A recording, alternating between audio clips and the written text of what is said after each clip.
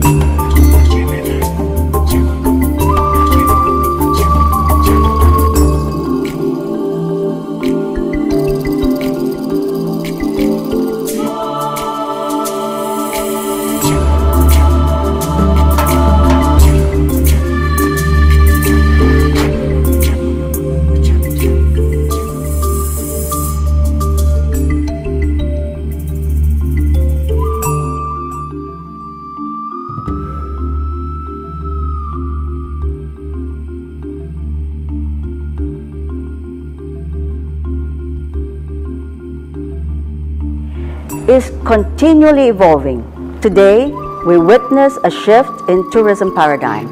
And the cultural knowledge that we have uh, is very important. Um, This one is an Ifugao Bulul that has been lent to us. Gamitin to silk screen. So we, what we need to do is just get the first layer and the top layer, the measurement. Then we will now make sure that you will not be consultant dependent and you will now be able to put together your own museums with least assistance from the others.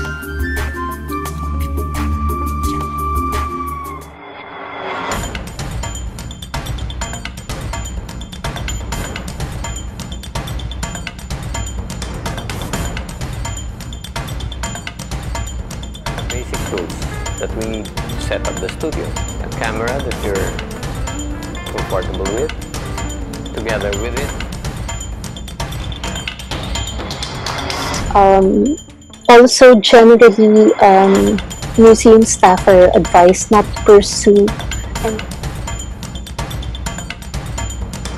In doing that, I'd like to focus on the two important words in that formulation, which is to curate and to exhibit. To curate uh, is to So why are museums important? Because museums and galleries give us an insight um, into the history of humankind.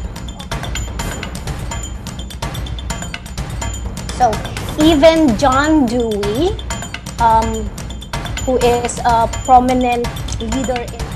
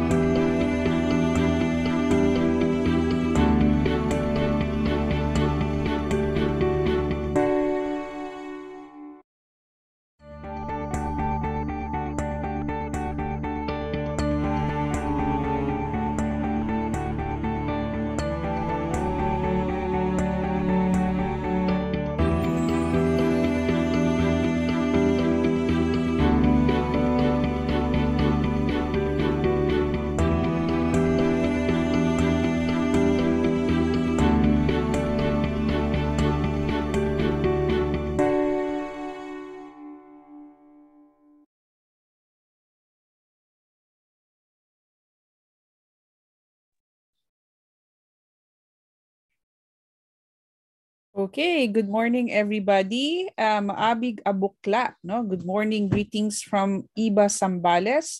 Madiyaw na aldaw from Agusan uh, Sur, no? And then uh, maray na aldaw po sa Gabos at maayo maupay nga aga sa iyong nga tanan, no? Ganda ng mga greetings natin from uh, different places. No? So good morning everybody. Welcome to week 9, day 2 of our museum management training. Uh, and our topic this morning is on the role of natural history in um, museums, no? university museums. So yesterday we had a very um, productive um, and meaningful talk with um, Dr. Cecilia De La Paz, who's the director of OICA uh, from UP Diliman. No? So today, uh, tignan na naman din natin yung natural sciences, no? the uh, university museums. Okay, I would like now to introduce our um, special resource person today who's now on sabbatical in the US, but we asked him to spend the morning uh, with us uh, today. So Dr. Juan Carlos T. Gonzalez is currently a professor in zoology at the Animal Biology Division of the Institute of um, uh, Zoology uh, Institute of Biological Sciences at the University of the Philippines in Los Baños. He completed both his BS and MS in zoology at UP Los Baños and earned his PhD in zoology at the University of Oxford uh, through the support of the Ford Foundation International Fellowships Program. Across his 27 years of UPLB at UPLB, recognition was given for his scholarly outputs and innovative uh, efforts in instruction, research, and extension, especially in the field of zoology, uh, wildlife biology, and systematics. He was the recipient of the UPLB CASAA 20, uh, 2002 Outstanding Alumni for Extension, UPLB 2008 Outstanding Teacher Award for uh, Biological Sciences and the Outstanding UPLB Alumnus Award for Wildlife Research and Conservation in 2019. Dr. Gonzalez has been a recipient of several UP International Paper Awards, professional chairs, one UP faculty grants, and conferred as UP Scientist 2 in 2014. He was bestowed the 2011 Outstanding Young Scientist Award for Zoology by the, by the National Academy of Science and Technology in the Philippines. In 2015, he was appointed as Director of uh, the UPLB Museum of Natural History.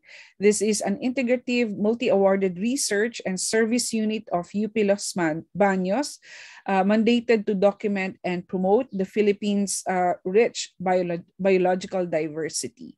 So uh, let's uh, listen uh, to Dr. Gonzalez. Good morning, sir.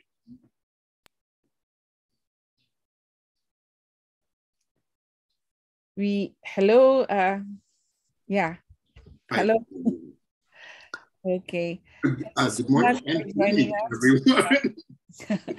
okay, so our topic for today is also another uh, of interest no, and a request from our participants on how to deal with uh, the natural history component no, for university museums. Since most of the uh, ones discussed earlier are more on ethnographic museums, historical museums, no, and uh, those uh, uh, biography museums or special interest museums. So today we're going to talk about uh, natural history museums. Okay, take Thank it away.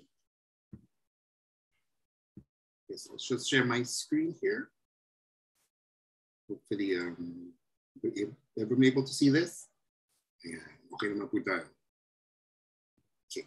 So again, um, good morning and good evening for those who are in the same uh, time time zone as I am. But um, I'm very much thankful for uh, Dr. Morris for inviting me to be back here um, and, and give you an insight on um, natural history museums and, and universities, particularly university museums. Um, so yes, I have been on sabbatical. So tapos na po ako mag-director ng museum. Then yung museum director is Dr. De Leon. I'll, I'll give you the information a bit later on. But yeah, so I finished my two terms as director of the Museum of Natural History uh, in UP Los Baños. Um, now on my sabbatical. And um, I still want to help out and introduce, introduce the, the role of natural history museums or natural history collections as part of this amazing uh, museum management training. So the role of National history museums and their collections are quite important globally. Um, I think everybody is, for those who have been able to visit museums around the world, not necessarily university museums, but museums in, in general, especially the, the large national history collections. This is the one in Senckenberg in Frankfurt. Um, I think an amazing uh, collection of menageries, originally just curios, then became an important reference collection. Of course, nowadays it, it is a reference collection for understanding climate change uh, because of that all that historical data that comes across it. Um, it's part of our aim to document and study our natural heritage. Uh, is part of our heritage. And if you see here a picture of the Strongylodon macrobotrys, which we call the jade vine, or is basically in your five peso coin. It's part of our heritage. It is one of Charles Darwin's most favorite flowers.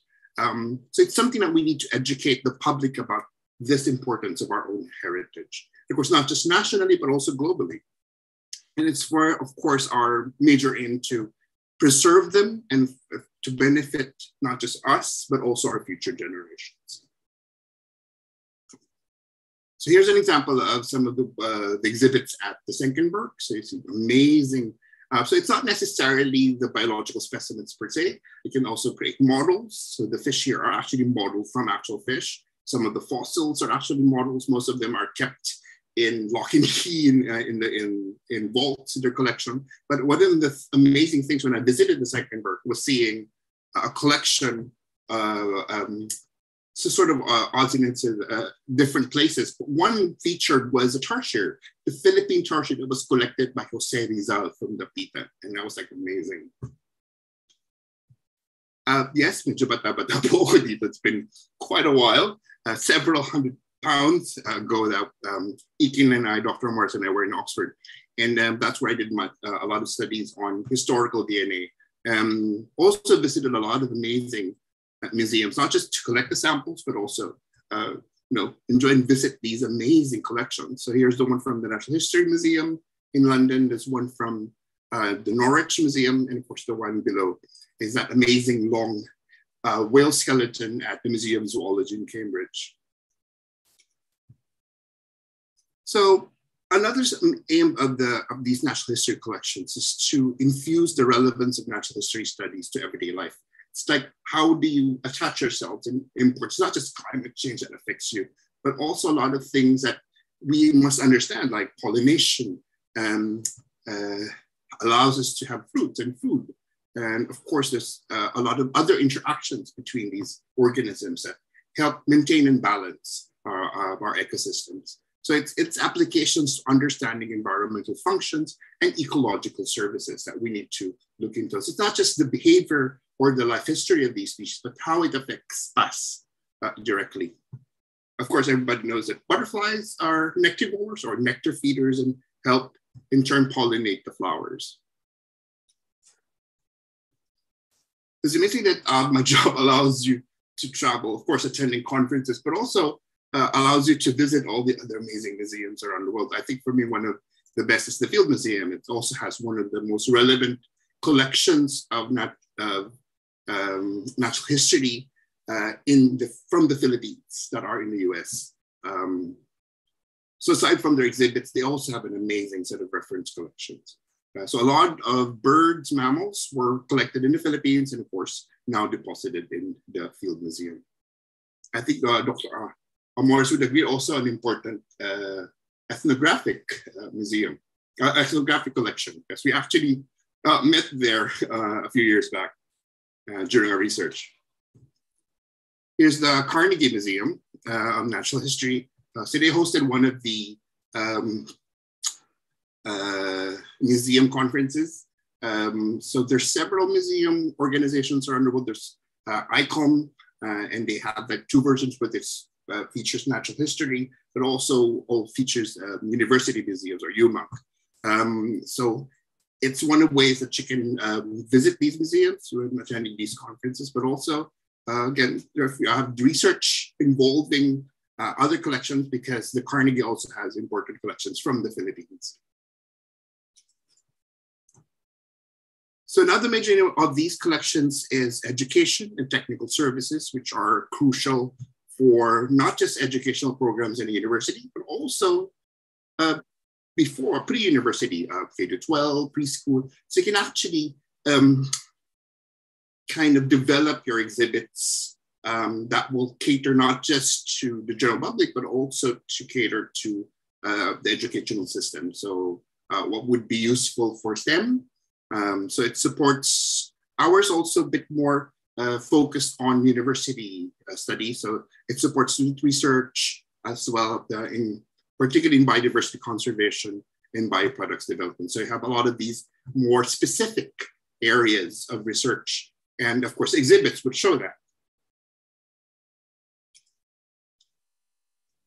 So I was uh, being here in California, the, the, the, closest Natural History Museum for me is uh, the LA County Museum, which is an amazing set of exhibits. Uh, although there are other universities which have uh, their own collections here. You see Irvine has their collection, you see LA has their own collection, you see San Diego has their collection. Of course, it's an amazing area where you have uh, not just from uh, the region, but also around the world. So hopefully the Philippines would get that as well, because most of our exhibits portray regional and national collections.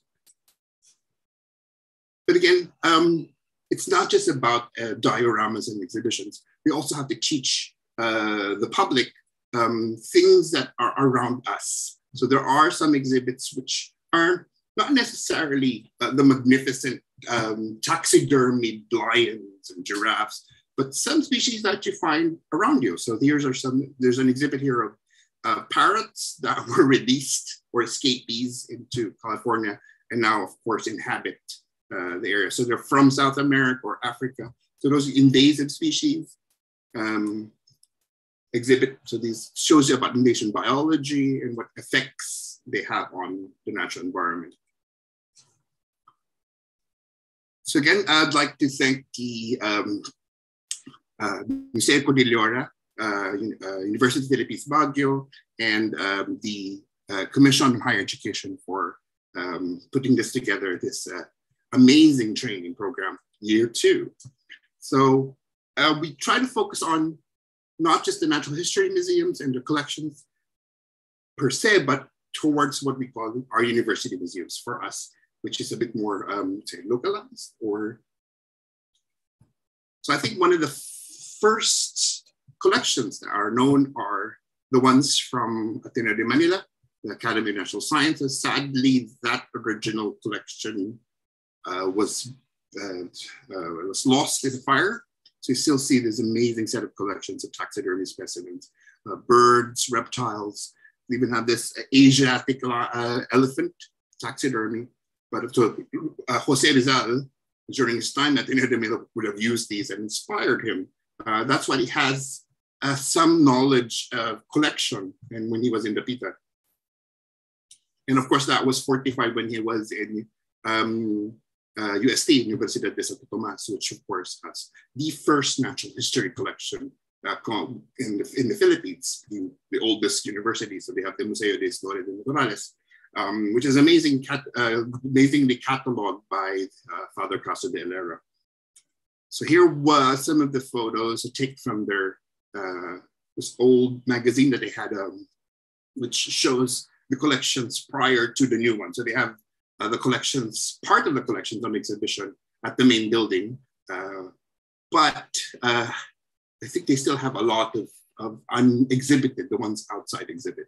But it's, it's still an amazing uh, thing to say to all these collections. Hopefully, uh, they will be on exhibit soon. Uh, anybody from UST around? And the, so they have renamed it the UST Museum of Arts and Sciences, I think sometime in the 80s. Again, they're changing it to UST Museum per se because have, it covers a lot of things now, not just the natural sciences. Um, amazing collection.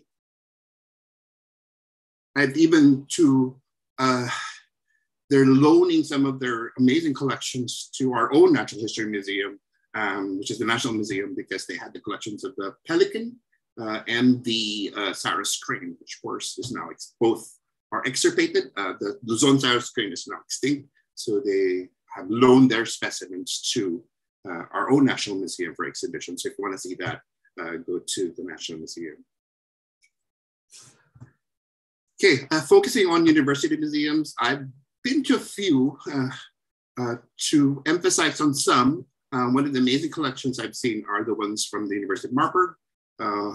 They have not just on exhibition, so at, the, at their own biology department, there's a skeleton of an elephant in the middle of the lobby. So, so it's like, oh, wow, amazing. Then you go to their research collection, their reference collection. It's amazing as, as well. Um, but of course, having to work on historical DNA, I worked at the uh, uh, Oxford University Museum National History Collection, as well as uh, the, University of University Museum Zoology Collection in Cambridge, where I uh, took out the toepad samples from birds to extract DNA, of course, look into their phylogeny.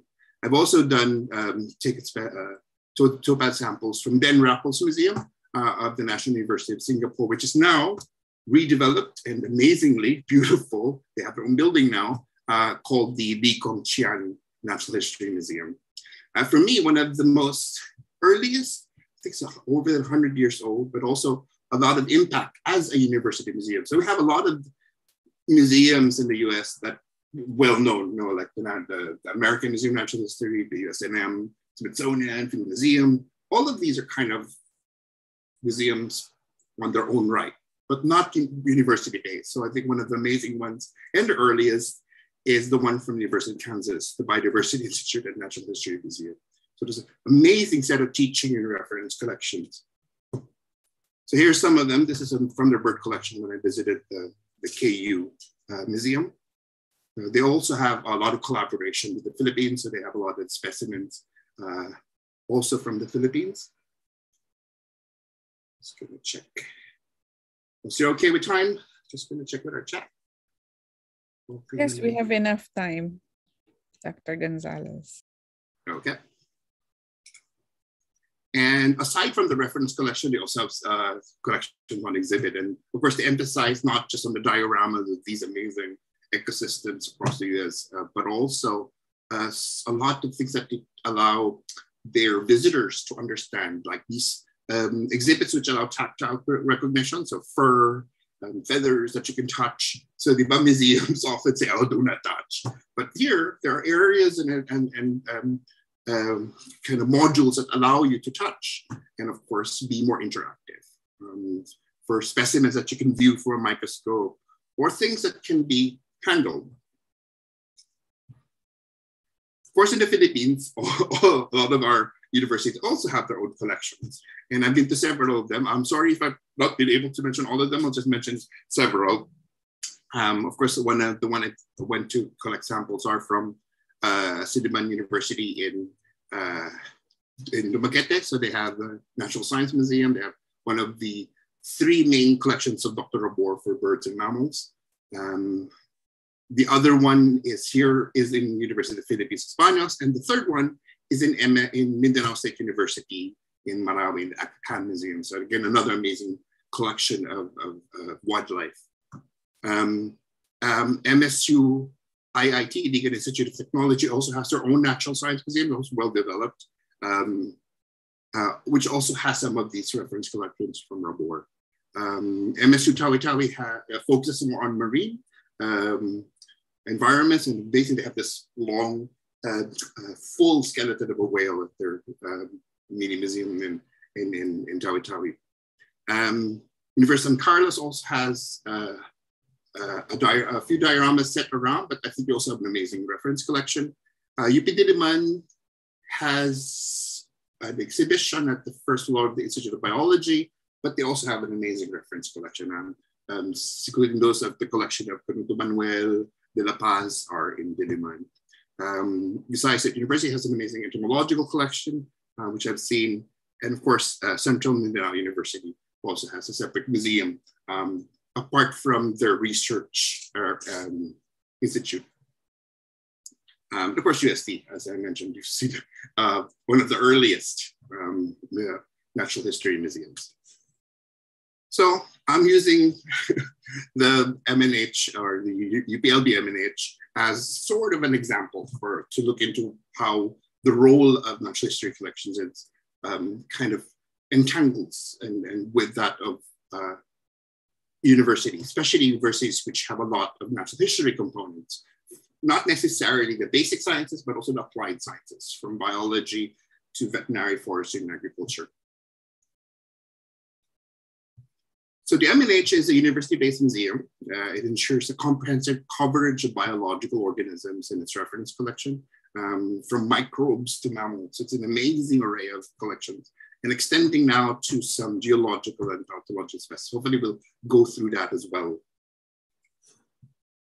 And the role of the MNH is, uh, the mandate is to serve as a key repository and center for research and education on Philippine biodiversity uh, with emphasis on studies around Mount Makiling. But we are quite lucky because UPLB is at, uh, well, covers much of Mount Makiling apart from being at the base of the mountain. Um, the image slogan is to bring nature closer to the people and bring people closer to nature. So it's what uh, we want to, to kind of imbibe into our visitors, uh, understanding nature uh, a bit more closer.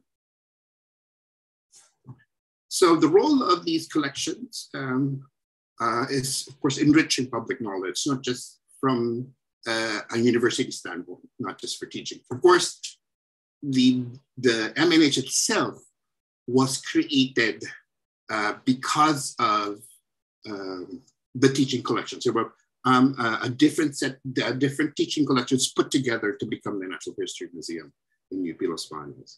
But again, these um, how the relevance is in terms of enriching public knowledge can be delivered through not just a set of collections, but also to other areas, uh, which help enrich it. You know, hindi stagnant as the collection itself, but also developing the collection, making use of that collection, and again, looking forward into what other ways you can make use of that collection. So the heritage, so again, four areas, the heritage collection itself, uh, from those uh, years long of historical data uh, that were collected you also have collaborative research, both internal and um, in collaboration with different museums, uh, different universities as well, uh, to help build that collection.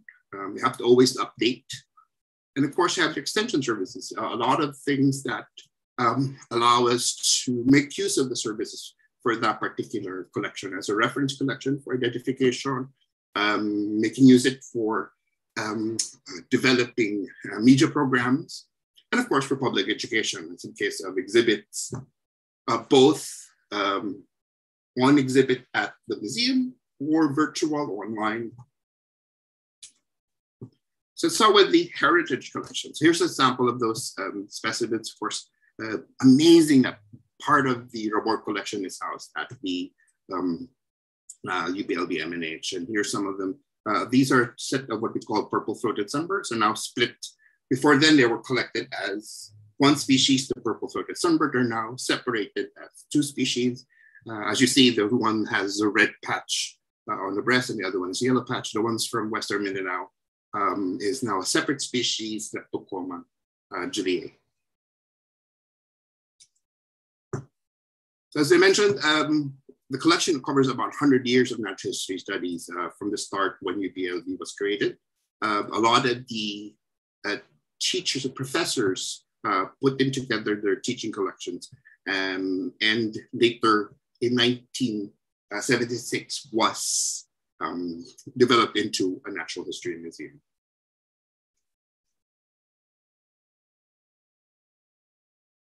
And of course was established through the uh, UP, University of the Philippines Board of Regents. So these uh, heritage collections are combined historical reference collections with a wide taxonomic breadth uh, from, oh gosh, uh, parasites to algae to uh, mammals. Can, it, it's deposited into these different taxonomic collections, which are major collections in herbaria. So uh, we'll go through them one by one. So the Botanical Herbarium, internationally registered as the College of Agriculture Herbarium University of the Philippines, or CAHU. So yes, it's, it is registered in, uh, into the global herbarium system. Um, We have the mycological herbarium, which is a collection of uh, fungi, mushrooms. Um, we have the forestry herbarium and wood collection or xylarium. Um, oh, uh, it's recognized as the Los Baños collection uh, in the herbarium system. Then you have the, oops, sorry, let's go back here. Xylarium, Hortorium, which is quite a conundrum for us of the name Hortorium. There's only two places which are known as a Hortorium. Hortorium in UPLB, which is a collection of live plants. So there's, it's almost like a botanic garden, but not necessarily. So we also have the UPLB uh, Makiling Botanic Garden. There's also two other gardens within uh, the campus. Um, this one's more of a collection of, say, uh, the bamboos. There's a bambusetum, there's a sets of, and often associated with horticulture. So um, hence that hort name hortorium. But uh, the other hortorium I know is the Bailey hortorium from Cornell, which probably arose from um, the collaboration between UPLB and Cornell University in the 60s. One of the largest collections of insects and arthropods in the Philippines is, of course, housed in the entomological collections of UPLB MNH. Um, hence, it's a very large collection, well, about 255, 300,000 specimens or more. I'm mistaken out the, the current count. Um, again, all of these collections are can be uh, uh, referenced online, so just go to the MNH website. The zoological and wildlife collection, which includes the DS wildlife collection, uh, has all the uh, birds, mammals, herps, fish, and uh, other invertebrates that we have. Uh, also malacological collections. So there's a special set of collections at the museum. Um, we have donations uh, from living individuals, individuals. And so there's some are geological specimens, a few fossils. Uh, so we call them as part of being housed in the exhibit. So they're part of the integrated exhibit. So hopefully it's going to be developed into a useful reference collection as well. Then you have the microbial uh, culture collection, the algal culture collection. Uh, which uh, includes both live collections. Again, some of the first uh, uh, registered internationally into a system for culture collections recognized around the world. Okay, so aside from the heritage collections, we build in that collection through collaborative research. So you develop uh, a lot of research programs. So the museum has its own uh, research programs uh, focused on caves, islands, and of course, uh, more recently on Forest Canopy. Um, but again, we'll develop it uh, a bit more in terms because we do have uh, a large group of uh, curators which have different uh, specializations. If you want to see all those curators, there's a again a list on the website. So it all focuses on key biodiversity programs such as uh, cave ecology or speleobiology, um, islands, um, montane or forest fauna, um, uh, flora, as well as life in the forest canopy. So we had a recently uh, a IDR USD uh, concluded project on the forest canopy. Um, hopefully we'll do, uh, uh, currently the museum has the uh, caves uh, research through DOST.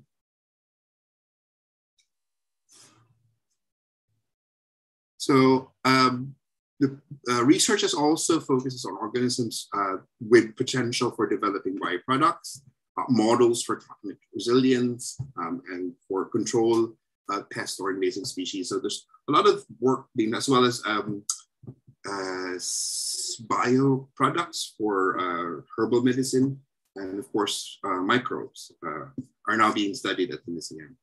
Um, so that's one of the roles um, um, for the caves research.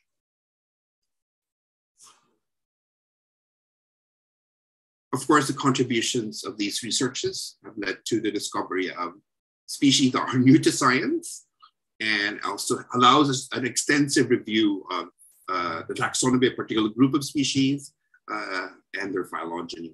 And so um, having sat as director for two terms, are, they have named three species after me. One is Strongylodon gonzalesi, which is the blue jade vine, and then a moth and a blind pygmy cave cockroach.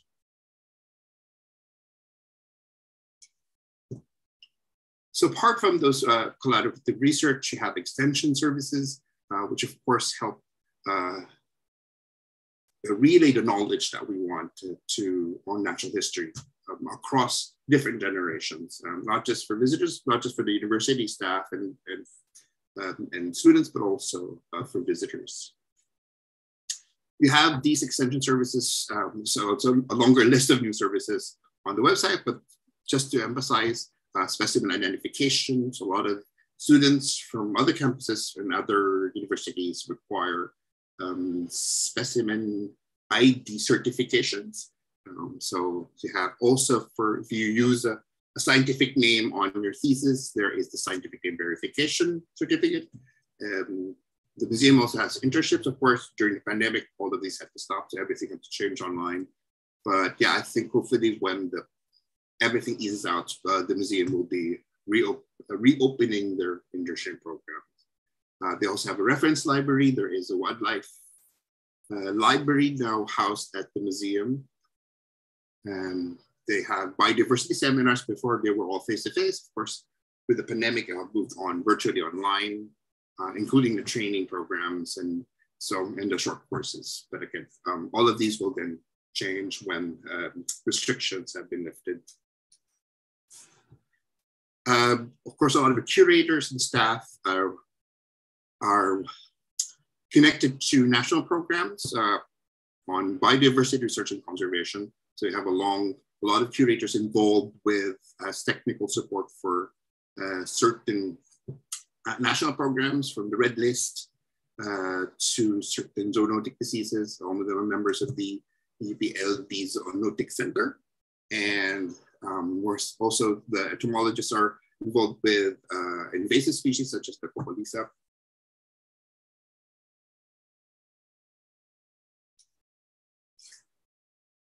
So in line, and then the fourth part of that uh, role of, of, of, museum collections is on public education. So um, even though it's a reference collection, it's, nice to, to, be, the museum was able to put out exhibitions, both dioramas and, and, and um, uh, interactive uh, exhibits um, on a building, which of course now being renovated, hopefully will reopen soon. soon. So uh, we are the MNH currently not housed in one building. They're composed of at least four different locations. So the main building houses the uh, the dioramas and exhibits, but most of the reference collections are in three other buildings.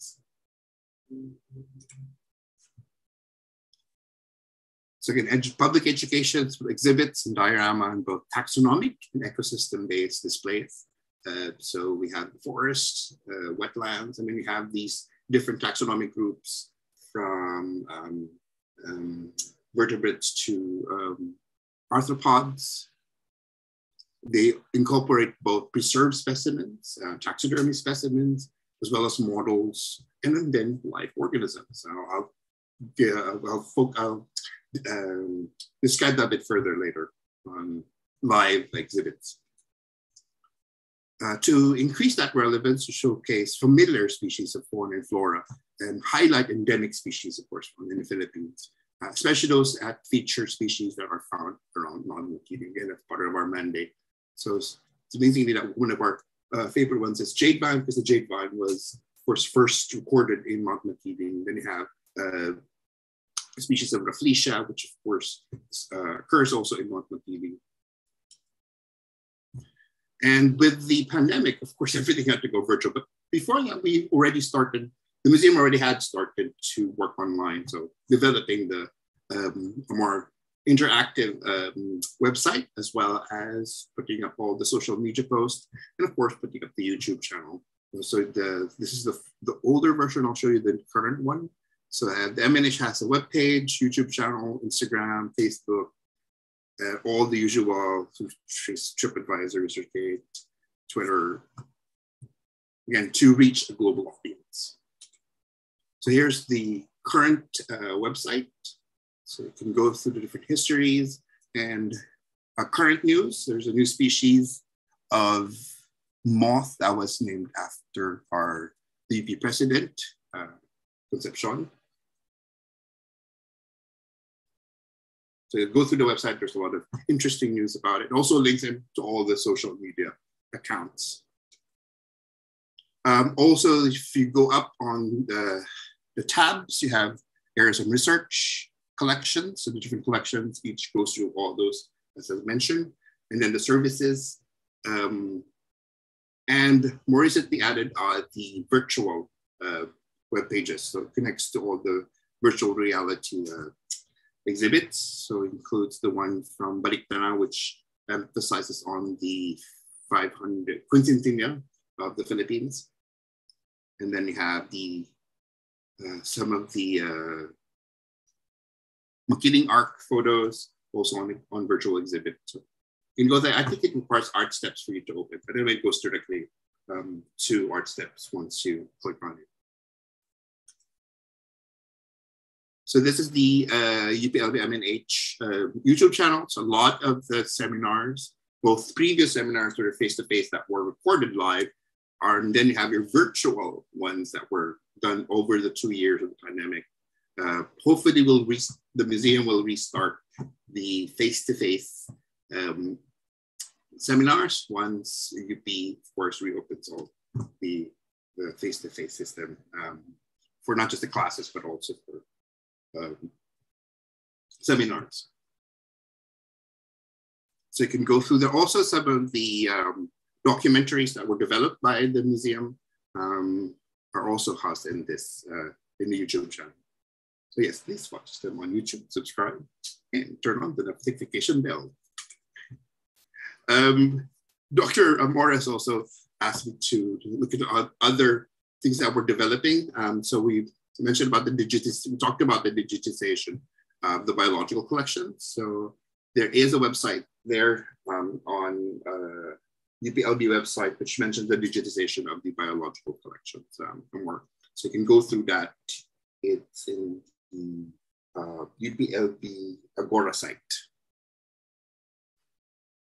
So a lot of the specimens are now being digitized. Um, they had some um, um, special means of, of lighting, um, even some which have multiple uh, images put together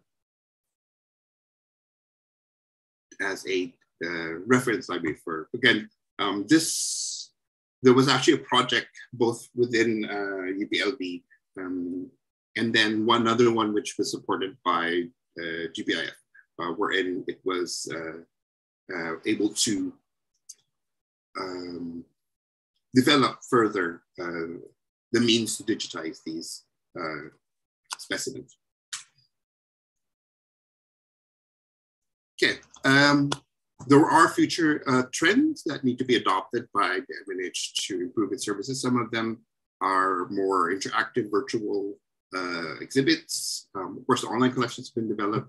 Uh, we need to revitalize the exhibits. Um, the museum is currently, the building is now being renovated. So hopefully uh, when it reopens, there will be a lot of new exhibits to, to look into. We also need to emphasize on our connections, not just with natural history, but also with um, uh, folklore, um, like uh, the ethnobiological significance. Um, so it's just things in ethnobotany or ethnozoology that can be added. Um, even with linguistics, looking into local names. Has anybody documented local names? Um, again, the names that we recognize for Hornbill, for example, is Calao. But Calao is an adopted name from Spanish and French. Um, what was the original name that was used by our ancestors? So things that uh, like this have to be documented. So it's, it's part of understanding um, our own natural history is through recorded history, not just natural history, but also uh, with other means. Um, hopefully the revised, uh, the renovations of the museum will also be uh, improved in terms of accessibility. So here is a um, a artist's conception of what will be when it reopens. Again, our notion of museums before, um, for a lot of the public, is their old, dusty collections. But now it's being replaced by more interdisciplinary approaches. Um, it's not just about zoology stuff, it also integrates with a lot of other sciences. And, and uh, it, it actually is more into public awareness. So it captures you in terms of, of exhibitions. Uh, there is also an increasing trend in museums worldwide that incorporates live organisms uh, in their displays and exhibits. And of course, models to replace specialty species, which are hard to find now or hard to create. You've noticed a lot of these exhibitions that we see are actually models. Um, you don't actually put the actual um, dinosaur skeleton on, on exhibit, um, but they, rather they replace it with models. Most of these um, important collections are actually housed in the reference collections and protected. So the museum has done a lot of, of displays which incorporate live organisms. We have the epicenter, which allows us has the Hoya collections and other epiphytes uh, featuring microbes uh, and aquariums. Um, we had a paludarium, which is half aquarium, uh, terrarium, which houses herpetofauna. Um, so again, it has to accommodate more hardy common species, but species found in Mount Makiling. Um, again, requires less complex captive management because uh, zoological specimens are hard to keep. It's a 24-7 job to keep um, live exhibits. So it has to be uh, well managed into um, something which is feasible within the museum environment. But still quite interesting. So we're using insects, um, frogs as part of the exhibits. Uh, we're quite lucky because we are in the Philippines. So well, the exhibit is in the Philippines and it's uh, in a tropical environment. So it's easy to incorporate uh, certain species uh, outside or along the museum um, so you can extend actually your exhibitions outside into the gardens and, and add in those labeled um, information kiosks around the different specimens around us. So like for example, there's the jade vine is housed on a uh, pergola in front of the museum. Of course, the museum provides a venue for, as a university museum, provides a venue for student training through our internships, but also because some of our students work on taxonomy and phylogeny or certain specimens that involve uh, parts of the collections.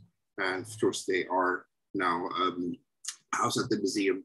Um, so it's not just the interested, but also the students themselves, okay? mostly graduate students. And there's close cooperation with the different colleges where all these teaching collections originated, uh, often associated with the natural sciences, so from forestry to agriculture to veterinary medicine to environmental science. And of course, all of these uh, faculty um, involved in these different taxonomic groups, which help us with the projects and many services uh, serve as curators. So again, there's a list of curators involved in the website. And with that, um, thank you for your attention. So again, if you have any questions regarding the services of the Museum of Natural History. Go to their website at mnh.uplb.edu.ph. Uh, there is again set there um, research, what our research programs are, uh, the collections, uh, all the different collections involved, and then you have the curators as well as the services.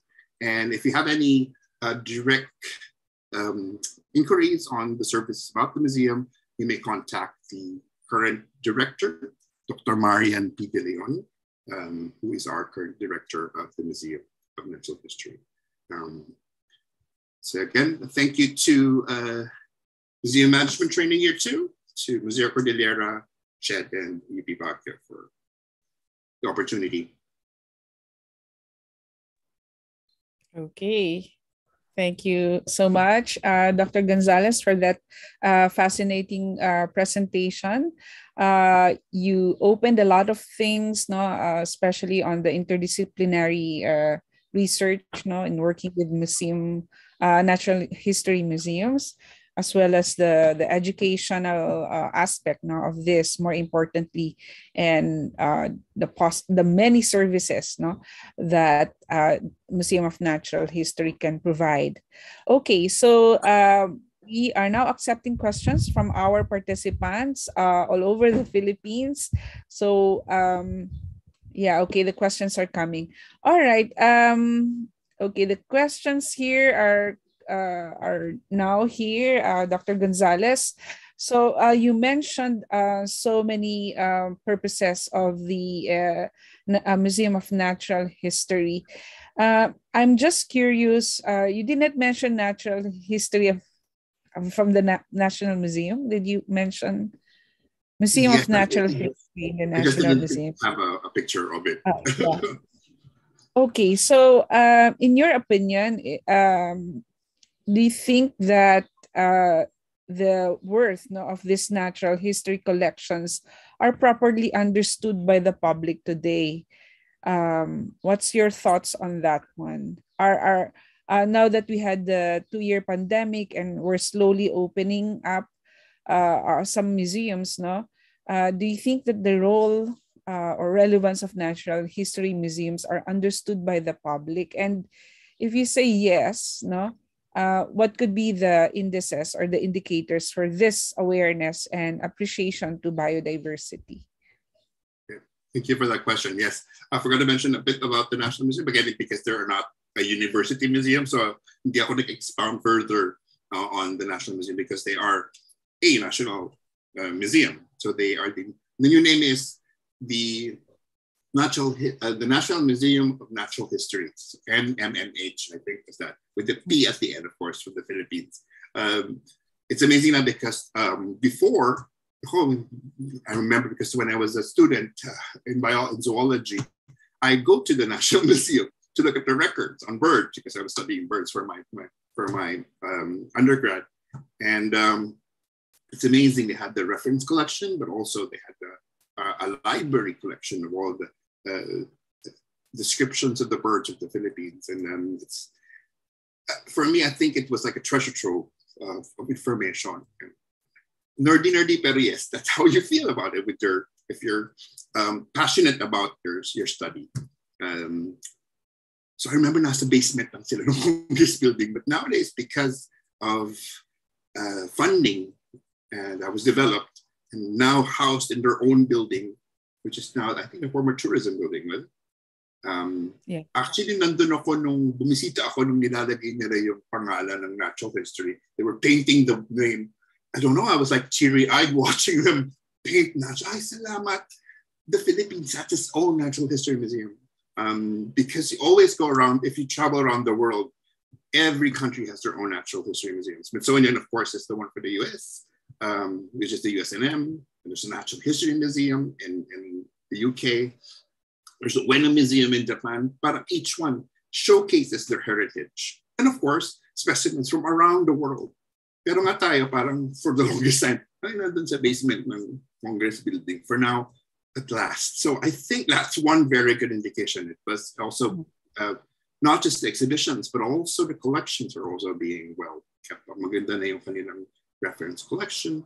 Um, they have more activities if you go to their IG account.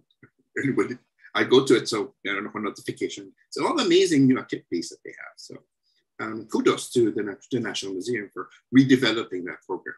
But what is also amazing is the university museums because nagkaroon na ng awareness nationally, pati yung mga natural history museums, which are collections of the different universities, bi- biological collection, ginagamit natin for teaching. We now recognize their value. So each one has also kind of like um, developed it, they kickstart some of uh, the development of putting exhibits, putting better uh, um, storage facilities.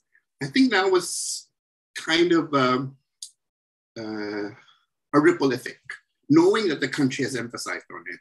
Might, di ba, nabagyan din tayo na, ay, salamat na recognize ang natural history. Well, not just natural history collections, natural history collections, but museum collections in general. I think it, it is the same also for ethnographic and anthropological collections. Nung na-develop yung National Museum, parang na-excite tayo lahat in terms of redeveloping all the regional ones as well. Yeah. Okay, thank you very much. Yeah, uh, I I went to the National Museum of Natural History Museum of the Philippines. No, it's quite a huge space, and I think it's four floors. No, and then uh, they had a very uh, interesting interactive um, exhibitions as well. No, so that's a good Sunday meeting place. No, for some children and of course the teenagers, are millennials. No, to visit the Natural History Museum. Okay, the uh, other question is uh, specifically for the university museums in UP Los Baños in particular. Uh, how did the uh, UPLB Museum of Natural History help meet the challenge of uh, the biodiversity crisis and of course climate change, which is uh, now uh, you know we're confronted with this um, issue on climate change and biodiversity crisis. How did uh, UPLB in particular, uh, the Museum of Natural History, address this issue? Thank you for that question. It's an amazing question as well. Because that actually reignites that kasi parang, ah, na yung mga specimens na yun. What can we do? They're in a bottle but that represents your history. It's, it's recorded history. That specimens collected during the time before climate change was more apparent. The climate changes have been occurring for many years. Ngayon lang there's an impact, added impact because of human influence. So we want to study that further. I mean, separation between what was natural and what was unnatural. Actually, thinking of the word unnatural, I've seen um, mm. a, a, museum called Unnat- a Museum of Unnatural History. It's an amazing collection that includes um, an exhibit of um, Dolly, yung first ever cloned na sheep. So ang yung, yung specimen ni Dolly, na taxidermy, andun, andun siya sa Museum of Unnatural History. So again, it represents um, everything about the Anthropocene, what the humans has changed uh, from climate change to biodiversity loss invasive species to pollution. So a lot of these are man-made. And that kind of, um, our heritage collection was collected either during or prior to those major impacts of human, of the Anthropocene, of human influence. So that can give you the, the, the, the baseline data to start with if you want to make comparisons. So I think, uh, yeah, reference collections are reference collections, a reference to a time line in our history. And of course, as represented by specimens. So this one, climate change. Again, um, nowadays with amazing technology, I worked with historical DNA. Hindi ako nag-work on ancient DNA, but I work with historical DNA. I can use DNA and eDNA or for looking into how species occurs and distribute distributed around the, the world and how they're related to each other. So ang naming pwedeng gamit. So even these dusty collections, clean them up, you can still get tissue from that and still get mm-hmm. DNA. And then that DNA allows, brings you a lot more information. Although there are a lot of stories about bringing back extinct species, you need a whole genome for that. That's a lot of data involved. But of course, they were able to bring back an Iberian ibex, which was extinct, for a short time. It didn't survive quite long. Nung na-clone nila. But again, that's one step already. Whether they, it, yung nga, meron lang issues on ethics whether you need to bring them back. Hindi naman yung dinosaurs, medyo mahirap-hirap na yung dinosaur. But there are some species that were lost because of humans and whether that's ethically correct for them, for us to bring them back. But again, the technology is increasing and it's how museums can help develop those technologies. So okay, it doesn't stop us. It doesn't stop as a jar. It goes beyond. Yeah. Yes. Oh, um, uh, you mentioned about looking at reference collections, no? So I know you've been all over so many natural history museums, not uh, looking at, studying, analyzing collections from all over. Uh, when it comes to the UPLB and other natural history museums, uh, what advice can you give in terms of preventive conservation? Because we talked about preventive conservation for artifacts, and we know that uh, the collections, no, in your museum are all organic, no. And uh, when we see the collections, for instance, at the Field Museum, it's like they were um, taken yesterday. No, it's well preserved and all that. So, in our collections in the country, uh, what kind of preventive conservation is being done uh, to keep the integrity of the collection uh, for future research? Yeah, um, um, it's still amazing how the Philippines is still actually getting to do that. Uh, and all the other Southeast Asian countries have the same problem because we live in the tropics uh, and because of the high humidity. Um, dito nga, it's so weird being in Southern California because even though it's warm, it's dry. Mm. So everything, you know, it wala issue masyado with humidity and and of course that helps preserve things if it's dry and warm. So it's not just the cold, but yun, importante talaga yung hindi siya mag-mold, hindi siya ma, ma-reconstitute uh, that becomes uh, food for other organisms. Yun yung nagiging problema eh. It's maging edible ulit for insects, for example, because it's, it's, it's reconstituted from dryness. So yeah, you have to protect it from um, humidity because being being attacked by by organisms that will eat it. It's because it's an organic uh, compound, but also you need to protect it physically because it's a fragile. Everything's fragile. So as it dries up, it becomes fragile. So sabi nga, di just the specific because you're teaching collections. Uh, our specimens need to be handled. They need to be examined. So there are certain guidelines of how to handle it properly and not destroy it kasi kakahawak mo. Nagutay-gutay na lahat ng balahibo ng ibon. So, so there's always that set of reference collections that you can use and also ones that you need to protect and yun nga, hindi mo dapat pinapahawakan unless necessary. So meron talaga yung mga, especially the heritage collection. So you have to disentangle those two uh, parts of uh, which one is your reference collection that it needs more protection, which one is your teaching collection that requires more handling. So dapat make two things. Of course, your reference collection would be the ones which are older or have more significance. And then the ones are kind of the, actually you can use models for that or specimens na hindi na ginagamit before. Nawala ng tag, hindi na siya ma-recognize or use. So that can be part of your teaching collection. Um, okay, I think I'll be able to answer. Again, ayun, you know, humidity is our major problem. So, Mm-mm. as you know, at least swerte kayo sa Baguio, medyo malamig-lamig. But still, the humidity is quite high, so you have to have the humidifiers. And for us, especially if you work in the government, kailangan patiin ng kuryente. Mm, hindi pwede yun kasi it has to go through a, a constant temperature and a constant humidity. Pagdating na alas 5, papatiin ng kuryente, balik na uli yung humidity sa. So you have to, again, it's not just the purpose, but also management and ano, issues.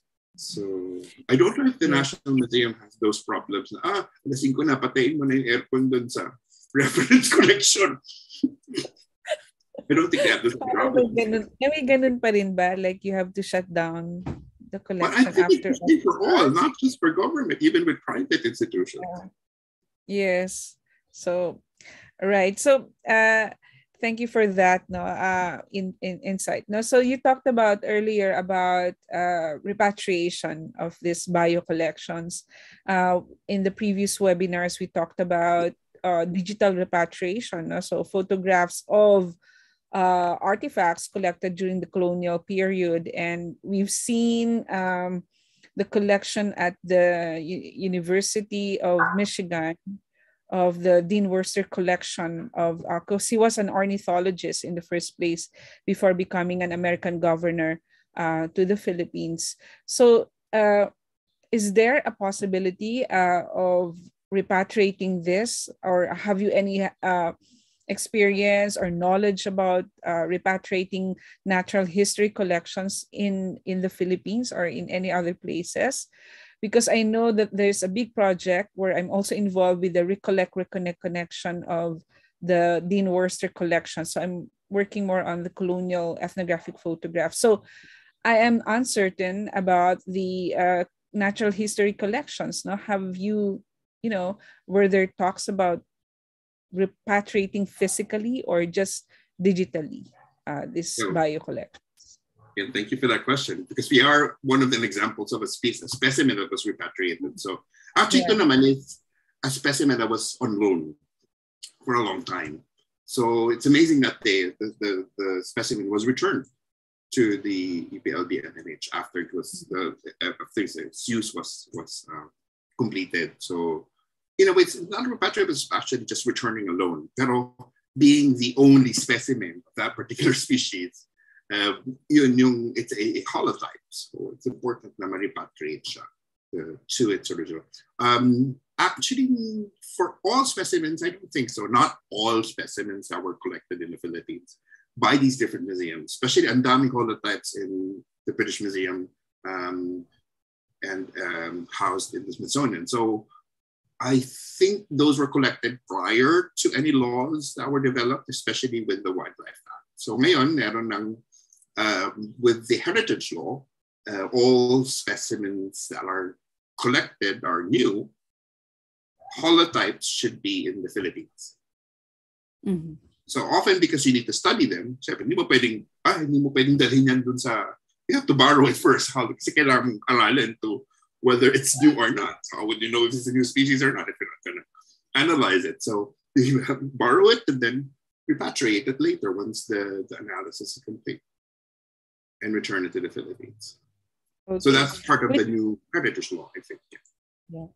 Which brings me to another, uh, maybe a recommendation or a suggestion on this uh, bio collections that we have, natural history collections that we have in uh, various repositories. No, uh, maybe you can lead that later on, or your team uh, with uh, UP Los Baños. Uh, there's a project at SOAS in uh, UK London uh, about mapping Philippine material culture. So these are uh, collections of, uh, for instance, I have an interest in on Northern Luzon collections that are found in different ethnographic museums all over the world. But uh, the uh, natural history collections from the Philippines have not been mapped out yet. So there's a, maybe I can share later on. Um, uh, th- th- there's a previous webinar uh, by Dr. Christina Juan of SOAS uh, who presented that on uh, Philippine map, uh, mapping Philippine material culture. I was wondering if we, we can also do mapping of natural history collections from the Philippines. These are collections outside of the Philippines. Uh, can this be done? it's already being done. So it's uh, there is a program called GBIF. So GBIF is the Global Biodiversity Database, which is uh, it's Global Biodiversity Information Facility. So GBIF um, uh, not only puts together um, all the information on distribution or uh, photo records, but also museum records. So meron dun sa choices. Uh, is it a museum specimen? Anong klaseng museum specimen? So um, a lot of museums have already done that before. So in my case, it was easier for me to track down specimens that I needed to, to study. Um, for so birds, we had Ornis, uh, and then became VertNet. So everything was all, all vertebrates, uh, museum specimens, um, records that were digitized and put into the internet. Allows you to find particular species and works from, sino nagkolekta, kailan siya kinolekta. So a lot of those basic informations is- are there in that particular database. It's now all placed under a bigger um, database, which is GBIF. Uh, Even the new records, such as eBird, which are uh, bird sighting records or bird photography records, are now included in GBIF. So it's easier for us now to track down birds um, um, or specimens. So the museum has started that digitization process. And of course, even with the data, uh, what you can share. Um, so we team up uh, with uh, ACB, the ASEAN Center for Biodiversity, which also housed in Los Baños. So um, the MNH is now doing that with a lot of specimens from herps to birds. And even now they're starting with, with uh, botanical specimens, putting it later that can be accessed online through GBI. Yeah. Okay, that's good thing to know, uh, Dr. JC, because some of our startup museums, no, or uh, specifically in the natural history, can use this as an online reference, no, for cross-checking or even validating or providing uh, information for our natural history collections. Okay, we have a question from Adrian Peter Cartalaba, no. So he is asking if you have any advice for storage and handling for old bones no, that are very fragile and almost disintegrating.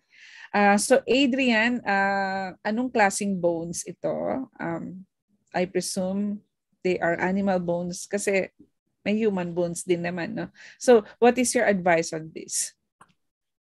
Well, uh, bone collection should be separate. All dry specimens should be separate from your fluid collections, and you're from often also separate from your uh, skin collections. Your skin collections are the ones that are taxidermy kasi may laman yun.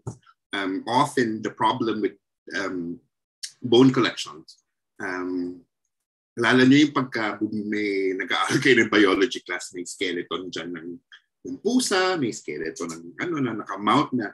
Those were all created uh, using dermestids. So um, often, pa kaya malinis na malinis yun eh. So there are insects called dermestid uh, beetles which help clean up uh, the skin and the, um, the ano ba, sinew. And talagang ang linis-linis niya. Matitila lang talaga is the buto at saka the um, isang hindi natutunan, which is cartilage. It's amazing. So you never mix that with your skin collection. Kasi pag nakawala yung, may natira pa doon kahit isang baby dermestid, kakainin niya yung collection. So that's why you need to uh, protect your taxidermy specimens from being eaten by pests.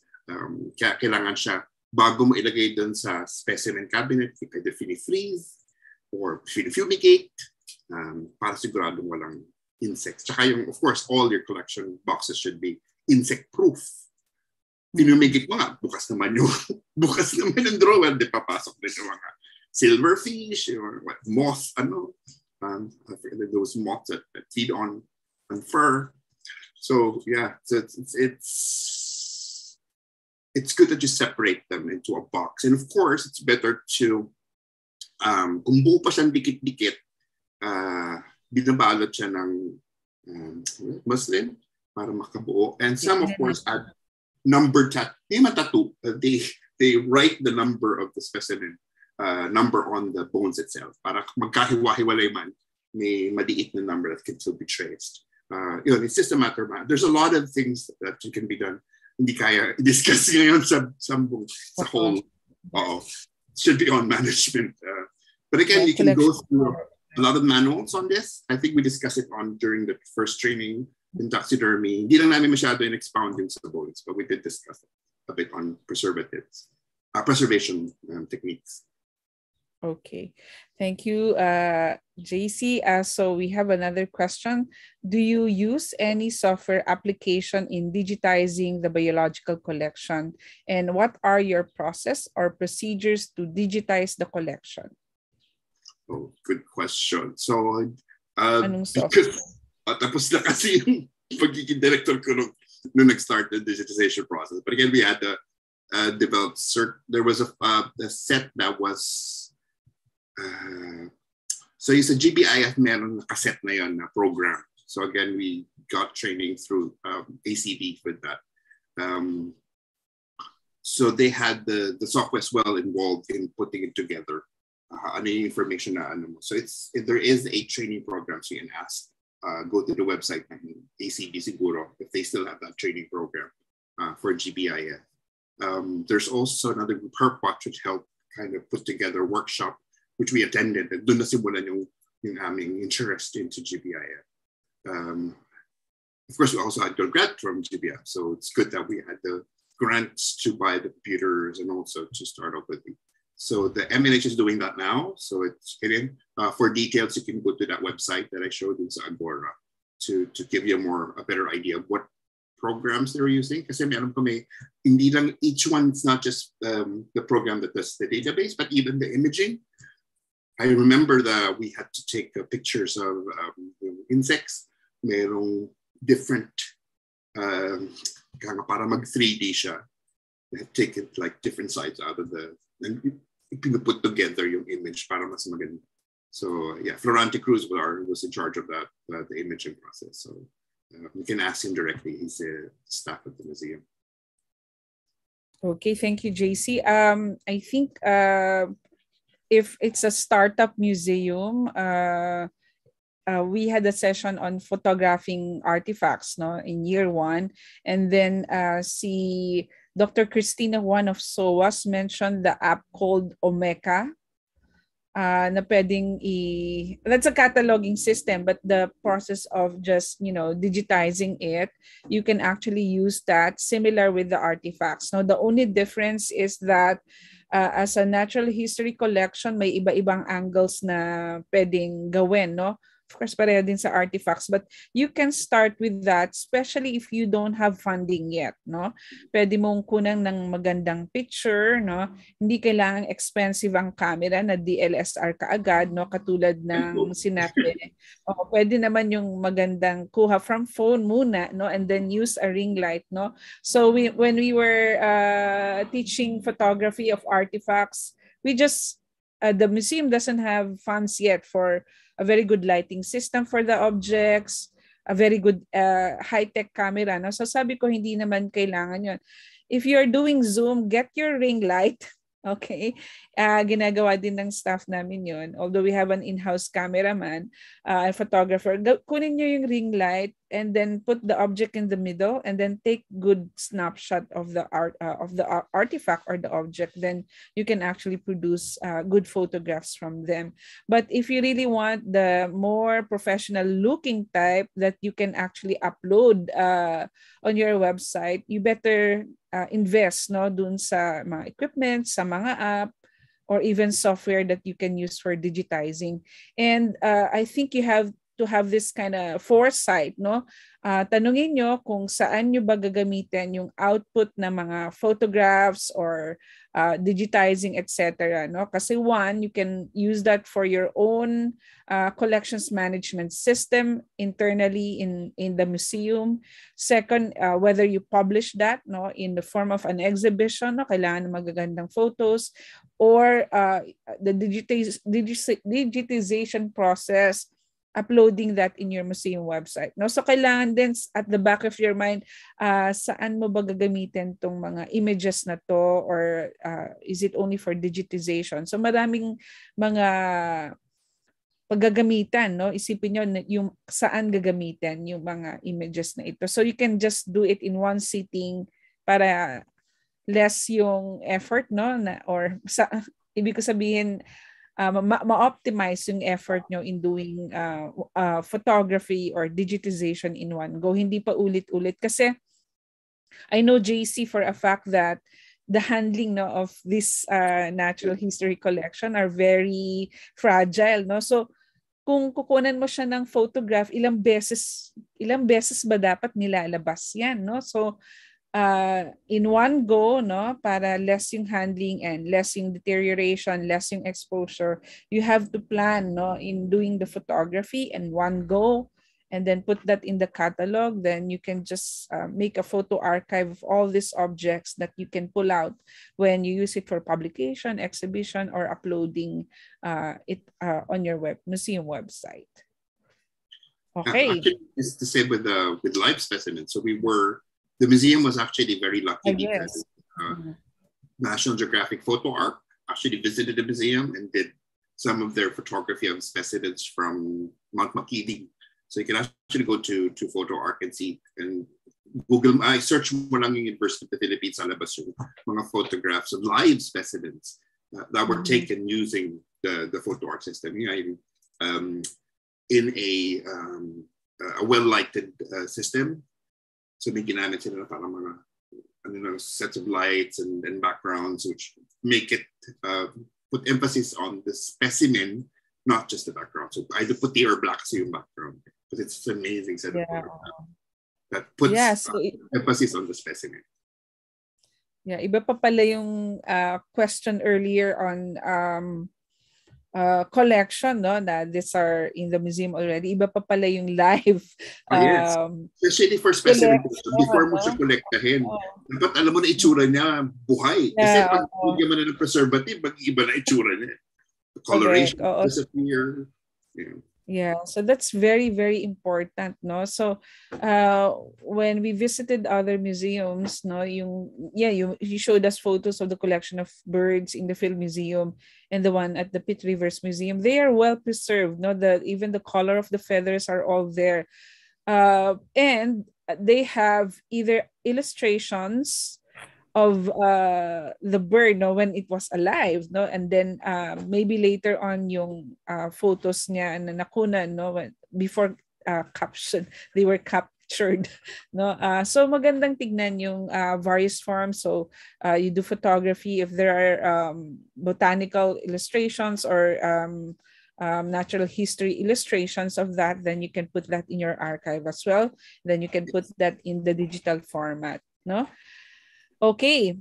Um, yeah, I talked too much. Anyway, so uh, uh, other questions here, uh, Dr. JC, uh, you opened this uh, question on uh, uh, the the interdisciplinary nature of uh, Museum of Natural History. No, um, you mentioned about ethnobiology, ethno Ethnozoology.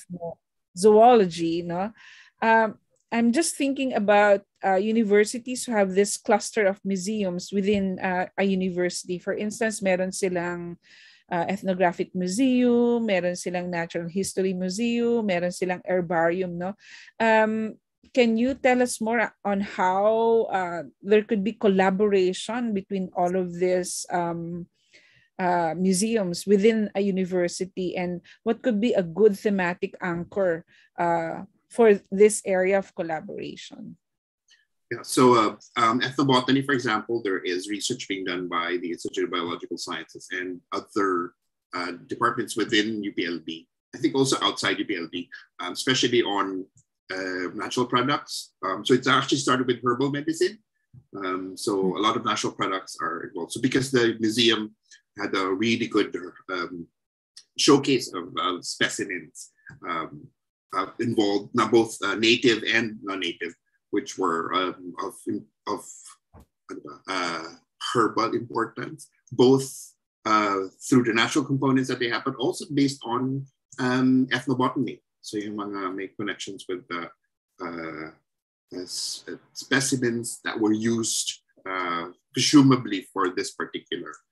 so not necessarily pre-tested scientifically or medically na test mo. Again, um, these are either through folklore or through uh, different means na, na develop. Uh, traditional medicine, as we call it. Um, so yeah, doc, because uh, Dr. Cardenas, Lourdes Cardenas was our previous director. Uh, she was in charge of these natural products. So maganda yung connection between the Museum of Natural History and what she was doing with uh, with, with, with bioproducts. Um, so that involves a lot of ethnobotany as well. Um, akin, I wanted to, being an ornithologist, I wanted to incorporate ethno ornithology. So I, uh, one of my mentors in, in Oxford started the IWA or Ethno Ornithological World Archive. So I started doing uh, research on um, local names because we have a rich data, not just cultures, but also um, different languages and dialects and how they change across the different, um, how the names would have, like uwak. Uwak is the same everywhere. Basta uwak, uwak yan sa Ilocano, uwak sa Cebuano. But there are bird names which vary across the different languages. And magugulat ka, ay, ano yung tawag nila dyan? So parang, mm-hmm. it's amazing because a lot of these languages are now being replaced by Jejemon. So hindi mo na, because before it disappears, ano yung Kasi either this, the people who saw them or knows the name of that particular bird in the wild uh, may die, hindi na ipasa kasi wala, na, naputol na yung oral tradition. Tapos mm. wala naman nag-document, walang nag-record. Kasi sabi ko, importante yun. So a lot of bird photographers and bird watchers are now doing this. So every time they post something, ilalagay nila yung local name. So that's amazing already. That's already a start of that integration. So it's not just a big with the, the specimen, but now you're integrating it with hobbyists, bird photographers, bird watchers. And it's a nice integration across that uh, science to um, citizen science. And you mentioned natural history art. There's a lot, there's an increasing wave of people doing natural history. Actually went to Las Vegas last month. Sabi ko, huy, mga gallery dito sa Las Vegas, puro mga natural history art na binibenta nila. Of course, ang mamahal, but it's it's amazing there's a recumbrance of, of what we understand as natural history in a different context, whether it's digital or a new wave, a new form of, of art form. But again, we go back to that original, kaya sinabi mo yung before wala pang picture, so they have to make a really good representation of a specimen to describe it. if you remember, there was an exhibit about the description of the Philippine eagle. So ganda ng line drawings of how, well, patay na Philippine eagle looked like. Uh, but again, these are all lithographic spec- uh, example kasi yung time na yun, wala pang photograph masyado eh. Well, 89 meron na, pero um, karamihan ng older ones, there were all, um, ang tawag dito, hand-painted pa nga yung iba eh. Kasi you just had the ink added on. I forgot the name of the, how it's all lithographed. But then, iba hand, ano na na yung addition of the colors. Yeah. Mm-mm. Just to, to kaya plates Yes. eh. Kaya, Di ba? Ang mamahal nun, kaya dedikado yung mga libro na luma na may mga plates kasi yun yung ginagawang pan-display ngayon sa bahay. Pine-frame nila. But again, those are amazing historical accounts of both natural history and art. So that's a, a great um, combination of both. Mm-mm. That's just an example. Okay. Yeah, so ang daming uh like so many possible collaborative uh, work no that can be undertaken by our local uh, museums and universities and especially those are those museums who are starting to decide no whether their museum will be natural history or ethnographic. There's so uh, many possibilities now on doing this. Um, let me just emphasize again the uh, global biodiversity info facility. Is that the one? Is there a website for that yeah. So uh, you can actually refer to that because i'm also very interested in um, i've seen a lot of uh, bio collections now elsewhere. So that i was just wondering whether uh, we can do the same no? Okay uh, other questions coming in uh, you mentioned that the uplb is now currently being renovated. And um, how how are they stored uh, in uh, while in transition no? And number two is yung question on um, to make it uh, safe uh, future proof no? Anong mga kailangan gawin sa isang natural history museum? I know that uh, kunyari may uh, tropical country either masyadong mainit tag-ulan may earthquake may baha no? How do we future proof our natural history museums Thank you for that. Again, uh, um, with the new director, uh, Dr. Marian De Leon, she had already had a lot of those future-proofing workshops. So just as I was before I did my sabbatical, uh, so I came back as curator for birds. So yun, she had a lot of these workshops done for future-proofing. Um, also because we were we, we were able to implement the renovation. So after I finished, we got the money, but of course, it took some while. Exacto actually nung natapos ako ng March, saka na-approve yung building, tapos sabay nag-pandemic. You know, so it's a lot of things that were being done across the time na uh, kumanda siya, so it, it got held up a bit. But um, luckily, the museum building doesn't um, house all the collections. So it's actually more of the staff, uh, the, the, the facilities, uh, plus a few or two, two or three of the collections, and, and like the fluid collections and the microbial collections are there. But everything is all exhibits. So pwede itanggalin yung exhibits and we're put on storage. So not all the reference collections are there because we don't have the one building. So we also had a proposal to have an annex building decided to become that one major facility designed for kasi hirap kasi na um, you re-repurpose mo ang isang building na luma, especially a lot of the buildings in Los Baños were done in the 50s and the 60s. I-repurpose mo siya for this particular purpose. They were all created to become either dorms or or classrooms. Iba talaga yung design that makes it humidity-proof, uh, insect-proof, disaster-proof, fire-proof. Kasi heritage collections, once you lose them, they're gone. I, I, di ba? I think everybody got a moment nung nasunog yung collections ng Brazil. Di ba? That was one major, like, oh my God, ano, ah, paano mo ibabalik lahat yung nawala? And I think that's the biggest fear of a lot of other museums, not just the Philippines, all over the world. So you have to make it disaster proof. And the Philippines is disaster center. Meron ka ng bagyo, meron ka pang, nagulat nga ako na tsunami drill sa UST. Sabi ko, kakalapit sa coast may tsunami drill kayo? parang, so it's, a, it's a lot of things that we need to consider. Um, even simple things as humidity and an open door, which a cockroach or a, a, a cloth Yeah. moth or a domestic can crawl into. Like for example, your textiles, if they're made out of animal fur, nakapasok dyan ang domestic, bubutasin na yan. In just a matter of two days, boom, dust. Ganun sila kabilis. Because I've seen a dermestid, nung nilagay namin yung skeleton ng parang uh, specimen ng bat, so may laman-laman pa siya. Siyempre, tatanggalin mo karamihan ng laman. Tapos lalagay mo yung dermestid dito. Two days, three days after puti, the skeleton is puti. Cleaned off flesh. Skin. Ganun sila kabilis. Sabi ko, Oh my God, parang piranha na maliliit. But again, they're amazing to look at. They're amazing to study. But that's how things work. And yeah, you need to protect them. Future proofing is another. So hopefully the museum uh, in the responders will get a new building that ha- houses all the separate collections because they're now housed in at least three different buildings. And of course, yung, you have the facility that allows you to make dehumidifying and test proofing easier. Yeah. Okay, mas ah, kung sa ethnographic artifacts, no, mas doble yung care, no, ah, preventive conservation for natural history, no, because they are really, you know, they could Imagine yung melt. letters mo, di ba, yung mga papers, kakainin siya nung, they have those Thysanura, the silverfish. Yeah. Alam mo, napaka-harmless. Pag kinain mo yung papel, wala, goodbye.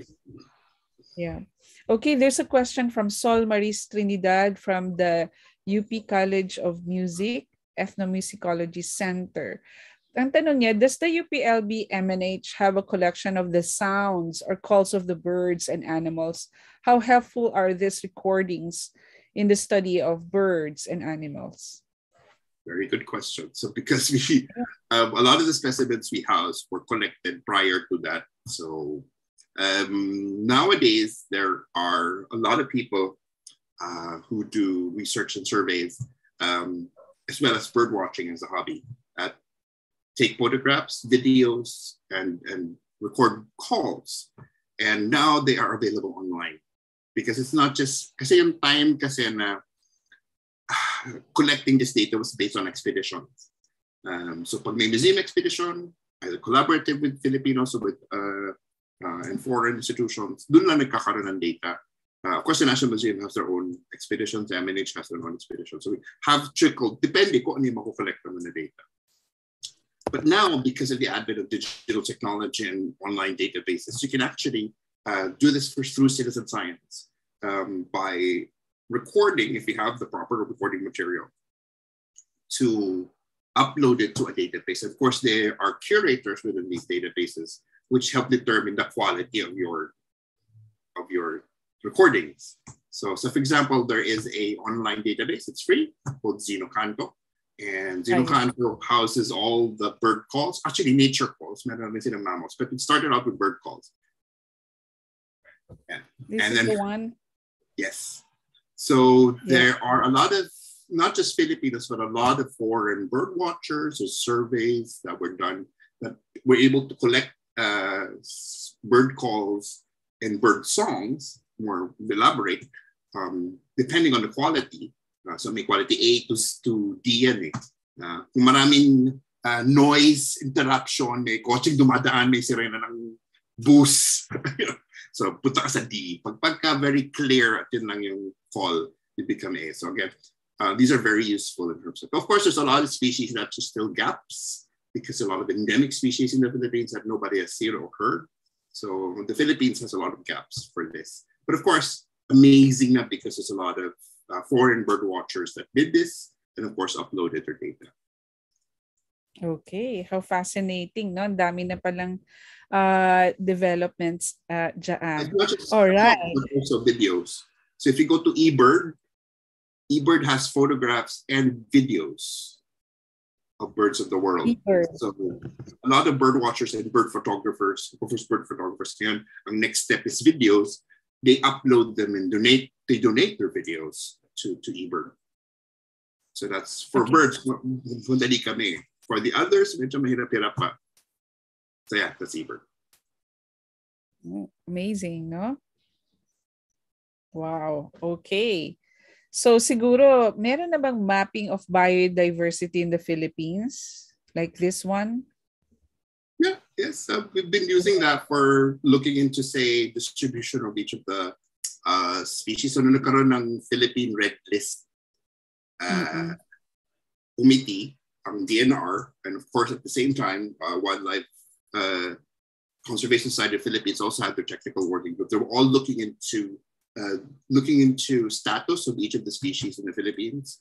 Um, so a lot of these uh, databases were very useful in looking into the status, whether distribution, kailan, nandito pa ba siya, sino last time, are the records, uh, kasi iba din yung historical records, you see the former distribution and then the current distribution, how much has it, so meron mga species na ang dati over the Philippines, ang dami-dami, and then, yan, na lang. So what happened? So then that gives you a red flag. Oh, bakit bigla silang pumonte all over? Dati meron sa Kalamba, ngayon sa Palawan na lang nakikita.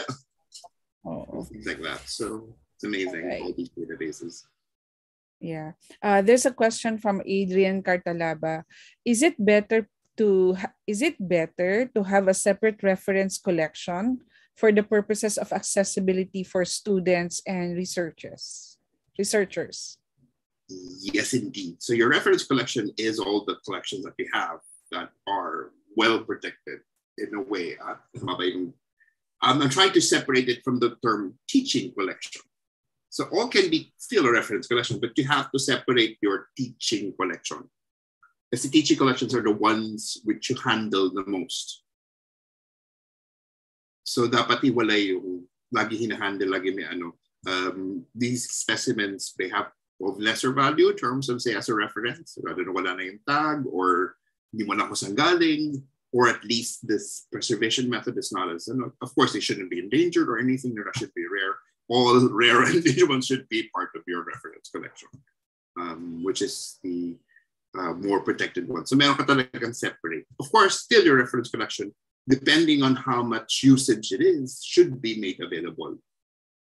Kasi everything is, wala ka naman choice eh.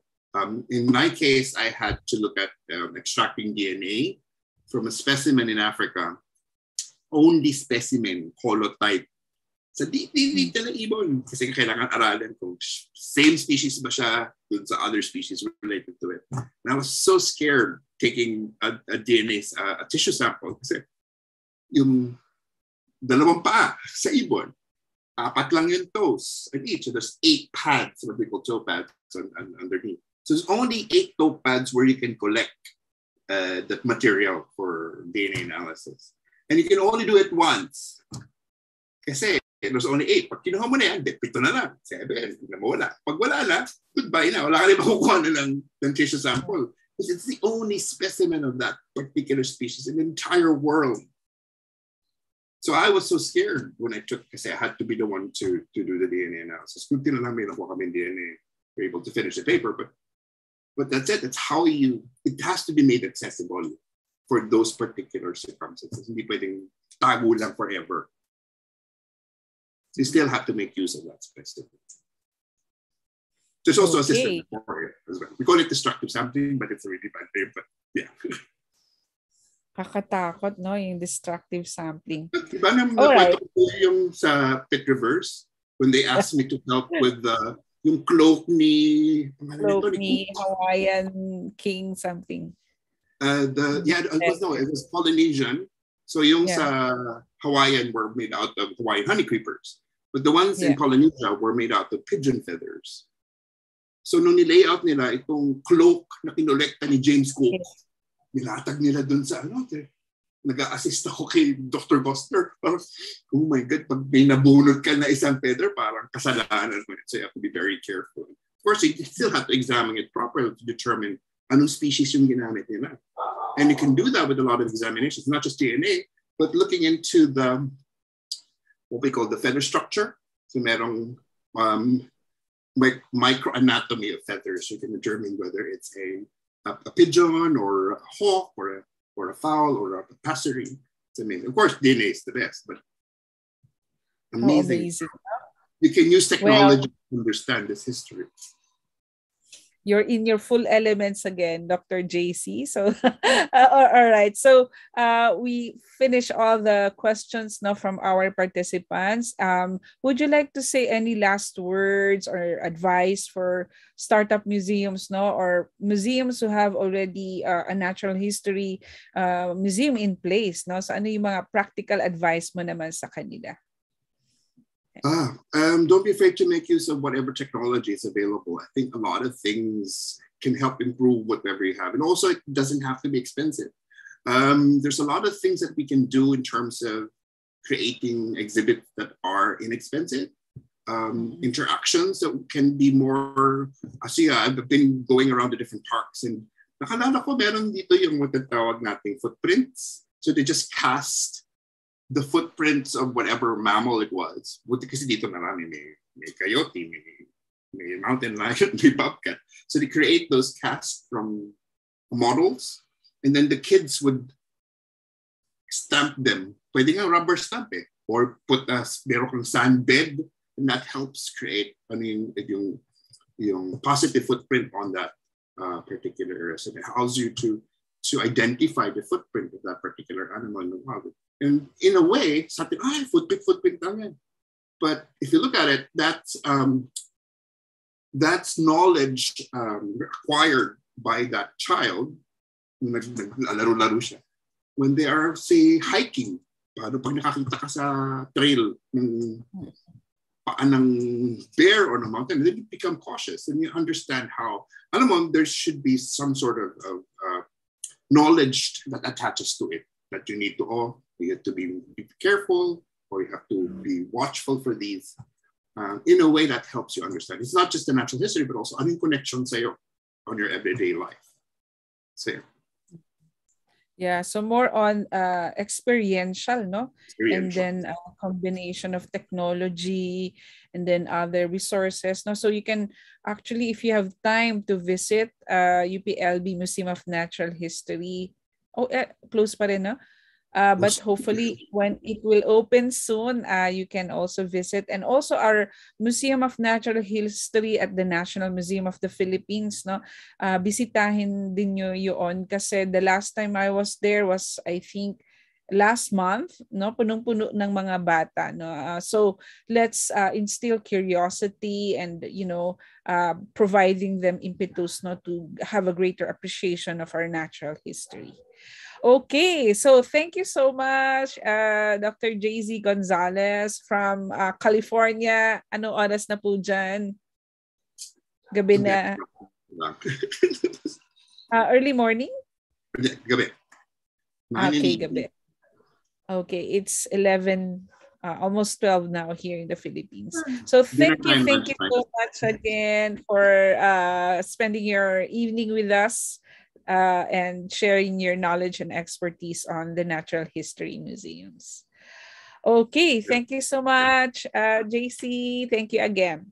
All right, for our uh, next session uh, coming up next week on May 19 and 20, uh, we will have uh, who's next? Um, uh, Miss Joanna F. Medrano. She's the creative director of Aramid and also the graphic designer of Museo Kordilyera. She will talk about exhibition design and fabrication. No? So this is like um, uh, considerations no, on how you can um, uh, design your display cases, anong uh, klaseng uh, mga uh, um, mounting um, paraphernalia that you need for your museum, even the look of your museum, no?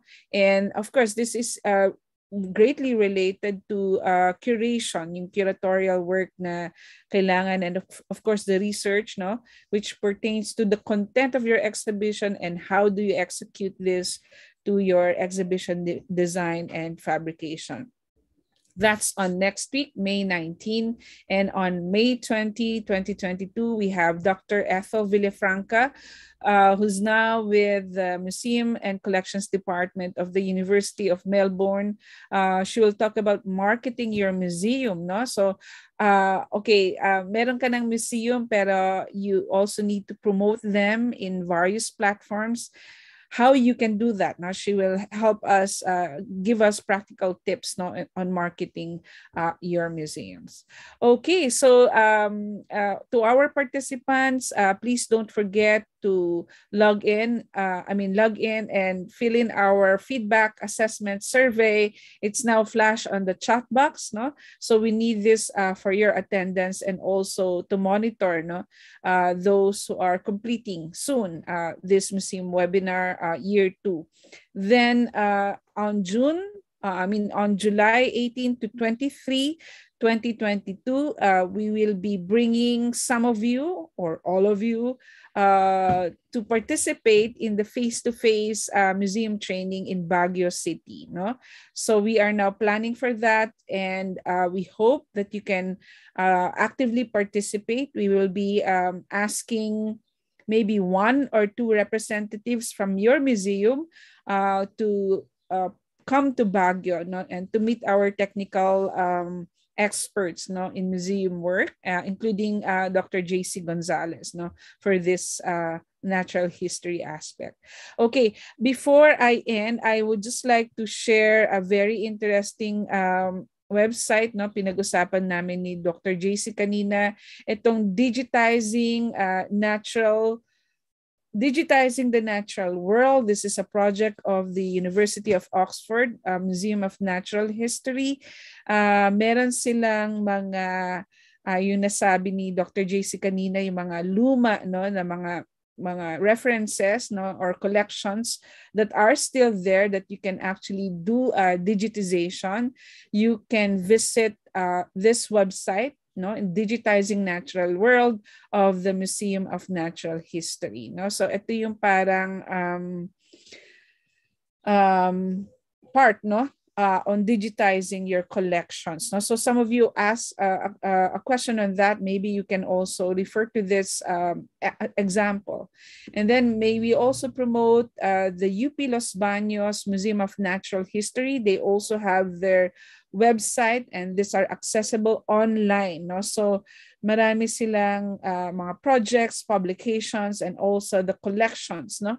Uh, in their Natural uh, Museum of History. No? So, so many things going on and a lot of activities uh, that you can find uh, from the website. So if you have further queries about building your own Museum of Natural History, you can send your queries directly to Dr. JC Gonzalez. No?